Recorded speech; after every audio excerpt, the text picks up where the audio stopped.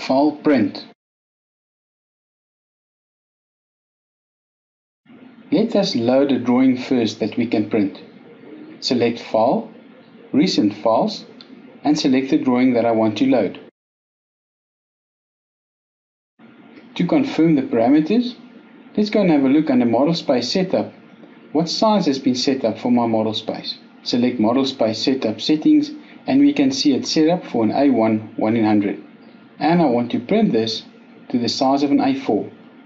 Before we continue further, Let's go and set up a plot style that we are going to use to print our drawing. So I will go and select OK and go and load the plot style setup wizard. Select File, Configure Plot Styles and let's go through the options. Let's divide this dialog box vertically to explain how it works. On the right hand side I've got the summary of all the pens. On the left hand side is where I will do all the settings for the pens. Let's decide what we want to do. Then it is always easier to understand why we do things in a certain manner. We will set up a plot style file and save it so that we can use it in future, which means that we can set it up once and reuse it all the time. This saves time again, which leads to better productivity. We will call this plot style file mono01. We will set it up for a black and white print.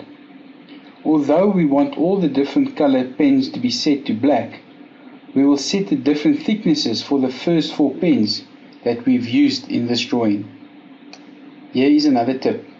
Instead of setting up the plot style file from scratch with no information, Let's rather use the default one which is called style1. We will copy that and we will save it with the name of mono01. Then we can only modify the parameters that we want to change and that saves us a lot of time again. Enough said, let's do it. I've got style1 selected and now I can go and select copy.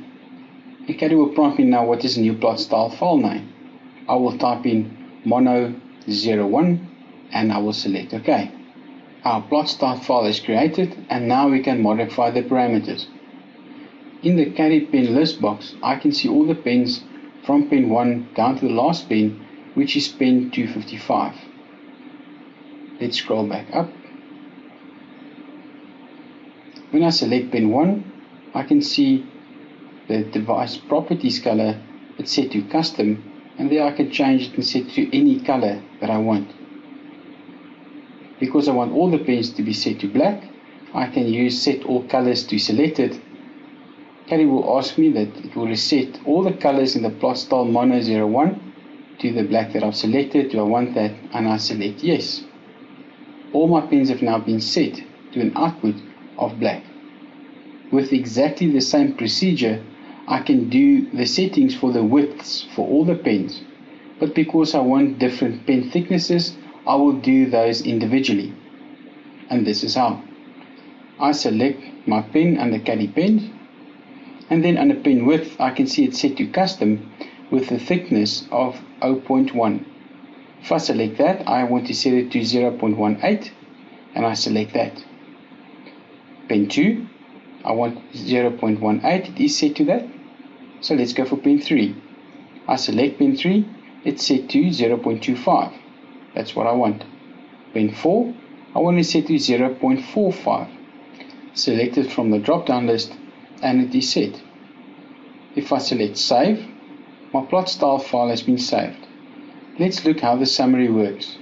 If I select expand all, it shows me pin 1, the screen color, it shows me the line width, and the plot color that I have selected.